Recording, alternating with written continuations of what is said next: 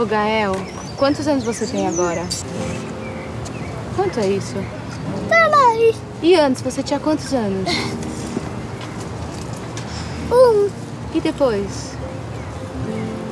dois, E depois?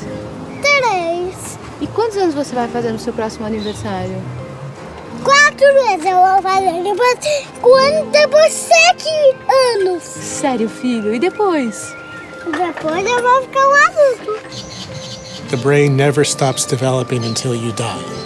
If you're 100 years old and you learn something that you didn't know before, your brain makes new connections.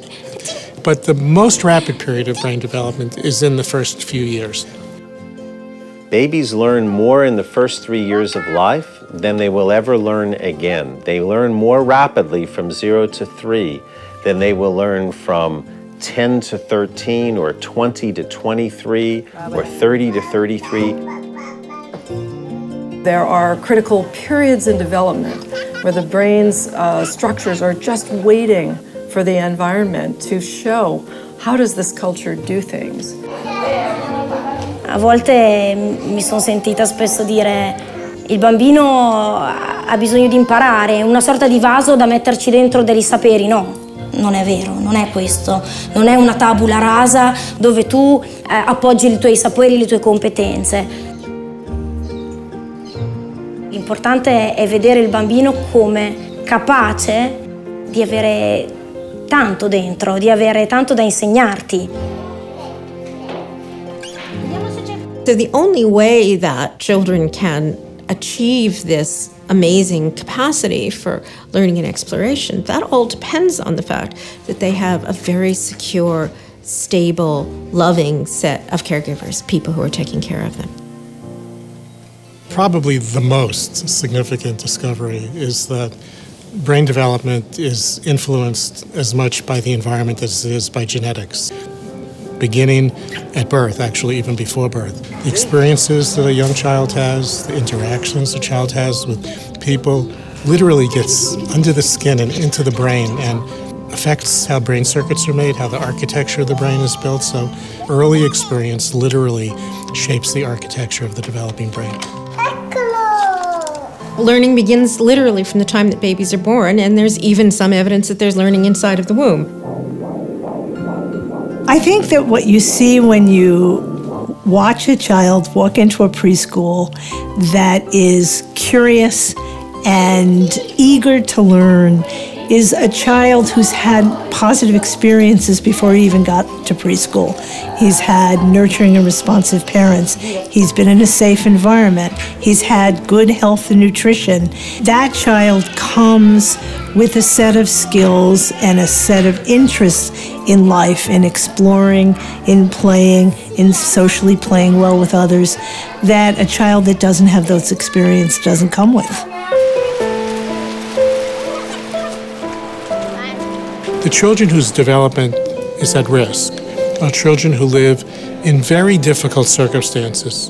Not a bad day here, a bad day there, but chronic, constant days, weeks, months, years, where there's very little positive interaction, where the home may be just very disorganized, not because parents don't love their children, but they're overwhelmed by their own life circumstances. Oftentimes, as societies, we fail to support parents in providing them the support they need for their children. That's when we start to see an immediate sort of child's toxic environment start to build. High levels of stress, high levels of conflict, lack of food, lack of nurturance. We know all of that together is a toxic environment because it's not allowing the child to develop to their full potential. The way people parent is heavily influenced by the way they were parented. and whether adults have the skills and the capabilities to provide a safe, stable environment for children is determined by whether they themselves were raised in a safe, stable environment. Somewhere along the line, the cycle has to be broken. And the science is telling us you can't bypass the adults. All families face challenges today, and our goal as a community, as a society, as countries should be to support them as they nurture their children.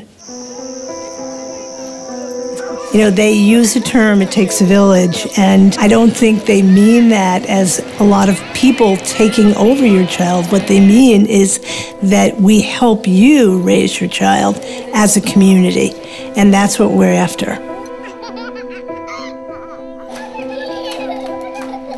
In the United States, we've conducted these studies that show what is the benefit of a dollar of investment in the early years of the child. What we found when we only consider these more limited objectives like earnings and employment and things like crime, that we find that each dollar invested pays back over the lifetime about $7, which is a very high return. The mother, this whole notion of the human capital invested in the child, the greatest part of which is the mother's, that that love is an important part of, of the economy, which typically is not fully recognized in the in the society.